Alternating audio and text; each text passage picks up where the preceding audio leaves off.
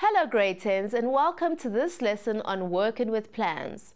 In today's lesson, we are going to show you how to use scale in calculating the actual size of objects in plans and how to draw 2D scaled floor and elevation plans.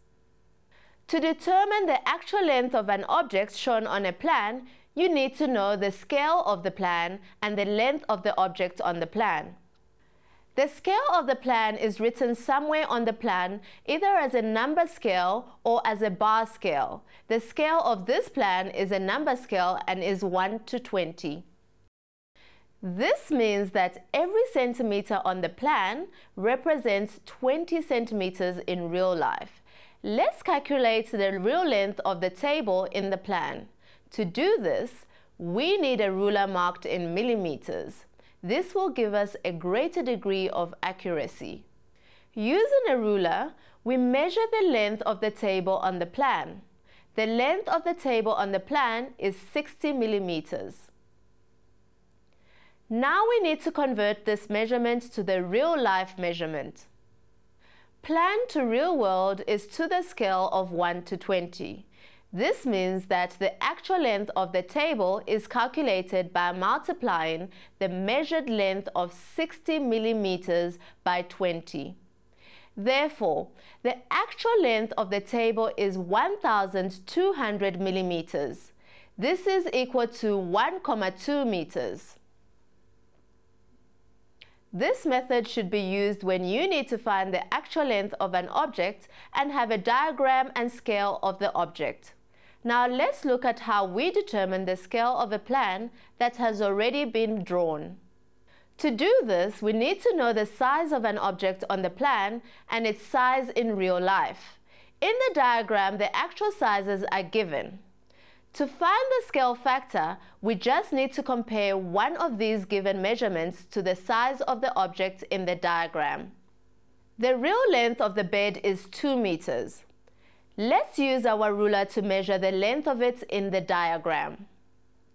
The bed is 40 millimeters in this plan.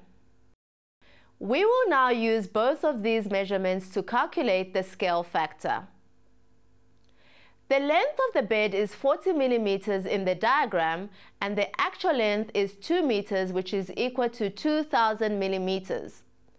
We divide the actual size of 2000 millimeters by the diagram size of 40 millimeters.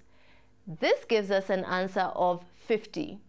This means that the sketch of the bed is 50 times smaller than the real bed.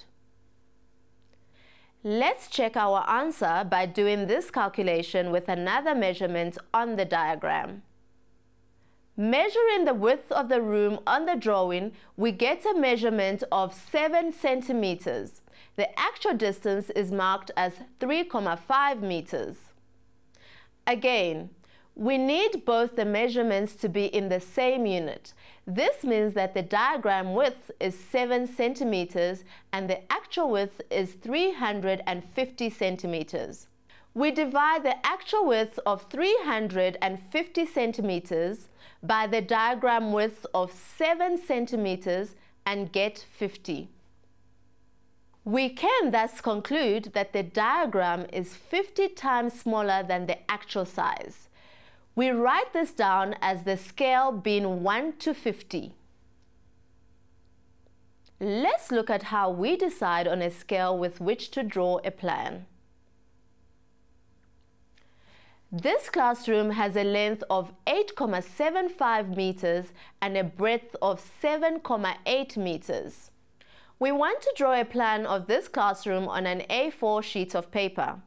Before we do that, we need to convert the measurements of the classroom into millimeters. To convert meters to millimeters, we multiply the measurements by 1000. The new dimensions are now 8,750 millimeters by 7,800 millimeters.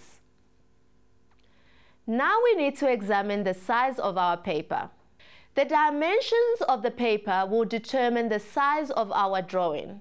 We are going to draw our classroom in a block, measuring 270 millimeters by 190 millimeters.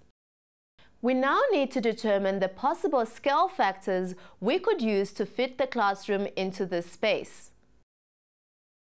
To determine the first possible scale factor, we divide the length of the block by the length of the classroom and this equals 0,03. To determine the second possible scale factor, we divide the size of the width of the block by the width of the classroom and this equals 0.024. Now that we have both possible scale factors, we need to choose one. We should always choose the bigger one and in this case, it's 0.03. Now we multiply the length of the classroom by 0.03 to get 262,5 millimeters. The breadth is multiplied by 0,03 to give you 234 millimeters. This means that the dimensions we will draw the classroom with are 262,5 millimeters by 234 millimeters. This brings us to the end of this lesson. Thank you for joining us, grade 10s. Remember to look at the tasks for this section in the Maps, Plans and Models tasks video. You will also be able to learn more on our website, www.mindset.co.za forward slash learn. Goodbye.